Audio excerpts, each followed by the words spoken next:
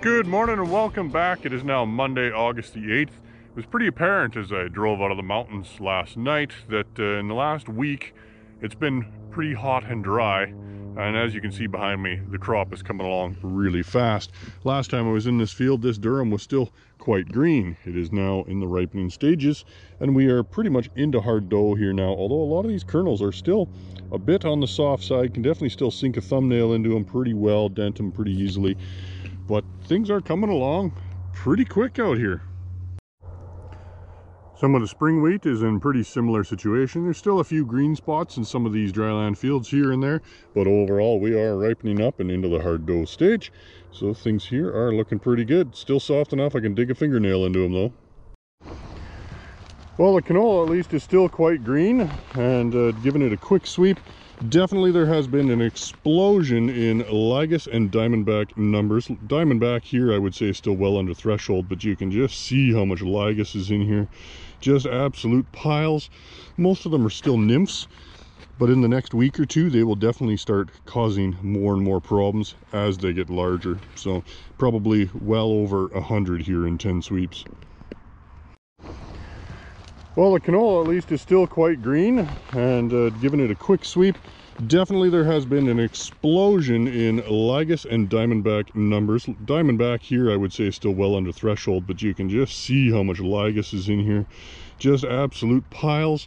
Most of them are still nymphs, but in the next week or two they will definitely start causing more and more problems as they get larger. So probably well over a hundred here in 10 sweeps.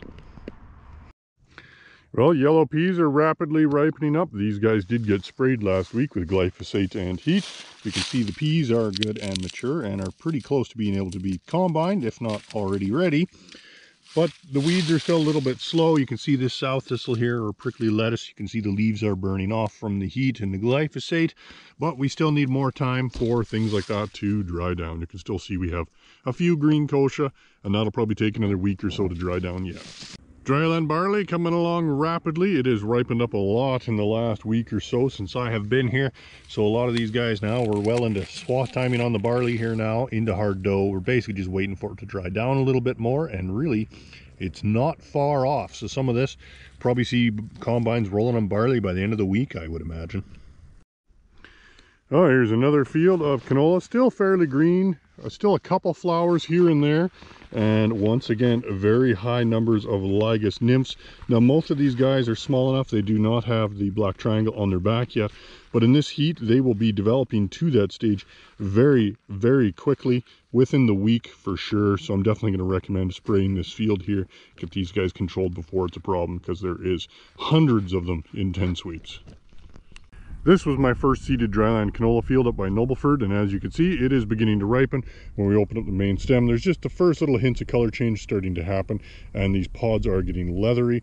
So even though lygus numbers are quite high in this field, they're mostly nymph lygus that are a week or so away from being mature enough to cause much damage. And this field will ripen up quite significantly in the next week, so I'm not too worried about this one at all. Only the ones that are still have a couple flowers or are very green. Well, with the heat and dryness that has been apparent here for the last two weeks or so now, you can see these reseeded oats on dry land are really struggling. We do have some really good emergence in a few spots, but then right beside it, we have totally dry rows here where there's just absolutely no moisture in the seed row. And as a consequence, we had basically absolutely zero germination. So right now it's not looking like a very good stand, but uh, who knows, if we get some showers or thunderstorms the next week or two, this could change rapidly. Well, there is some very heavy grasshopper pressure along the edge of some of these fields as some of these pastures, like over here, continue to dry down. However, now that the crop is getting ripe, there's not a whole lot of damage that they can continue to do at this point. They can still chew on any greener heads out there, but really where the damage at this point can come in is when they start cutting off some of these heads, just like these guys right here. So these were tillers that were a little less developed and you can see grasshoppers have basically chewed through that stem where it was still green and that is going to result in the loss of that head both because it didn't finish filling out it'll have wrinkled underdeveloped kernels and it'll probably just fall off or a combine has a time to get it well back to that young field of dryland canola it was still trying to flower but the heat has pretty much put an end to that There is still a few blooms here and there that are trying, but it is mostly blasted away. When you sweep it for bugs now, you can see we have a quite a large increase in the amount of diamondback moth larvae that is in here. So that is starting to be concerning. There is some visible feeding on the leaves and on the pods as well. So we will probably pretty much have to come in here, get these guys under control.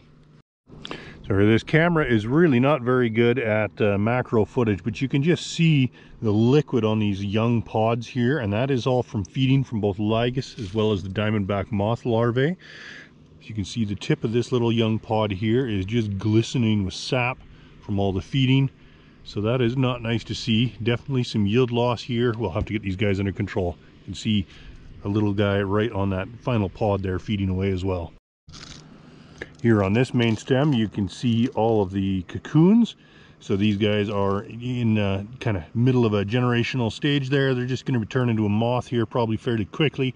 When it's really hot like this, these guys can have a new generation about every seven to 10 days. So their population can explode very quickly. Back to that hailed out corn by Coalhurst. It's looking not too terribly bad this week. It is definitely still quite short. I'd say it's mostly under six feet tall. You can see a few of them are starting to tassel. And we do have some silks coming out. Now, not all of them are tasseling, but lots of them are silking. Like this one here is trying to form a ear, but there's no tassel in sight. And that is perfectly fine. Generally, one tassel has more than enough pollen for several plants but we'll see what kind of happens in here. Definitely it's not going to be a, you know, 20 ton silage crop in here, but it'll still end up being something. Pretty limited regrowth on this field, not looking too good. Might not even average one ton.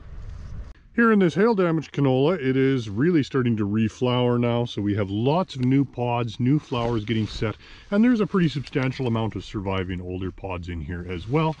But now, of course, we have a huge influx of small lygus nymphs. So right now, technically, we'd still be under threshold, but not by very much.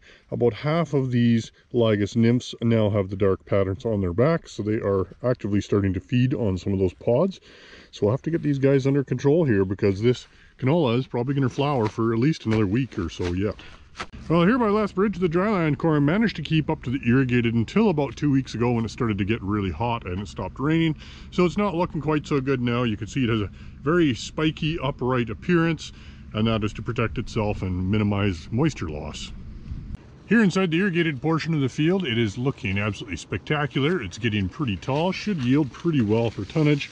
And it's just starting to set ears here. So a lot of it is still silking. Some of it, like this one, has just finished and it will start to fill in the next week or so here. Lentils down by Magrath have been desiccated now with an application of Reglone Ion and they're looking pretty good. So now that these guys are maturing and dropping their leaves, you can really see the volume of pods on here. So they have really potted out very well. So I'm expecting a pretty decent yield off these guys. Uh, looking very promising at this time. Well, here's something I don't often get to see in person. This grasshopper here has her back end buried right in the dirt on the side of this little gravel road here. And she is busy trying to deposit her eggs. So let's see if I can gently pull her out here. There we go. Oop, and she's gone. So she is potentially leaving eggs down in that little hole.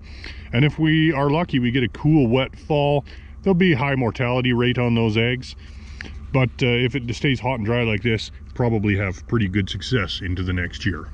Well, this Pioneer Hybrid M35 is looking really good, and as you can see, the field is starting to ripen. However, it's not all natural ripening. A lot of it is because of blackleg. So you can see here, this plant here, definitely have a good blackleg in, infection in that root there. So that is causing this plant to kind of prematurely start to ripen. And in this case, it's almost an artificial ripening. The pods are turning brown, but the seeds inside are still relatively green. So there's no visible color change yet. So that is prematurely ripening. Some of these plants are worse than others. There's a patch right here, for example. You can see these guys are kind of crispy brown.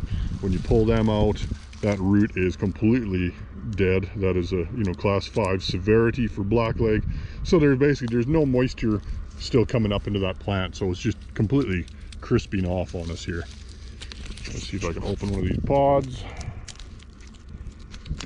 Yeah, so you can see those seeds are having color change, but they are kind of uh, off color brown and shriveled.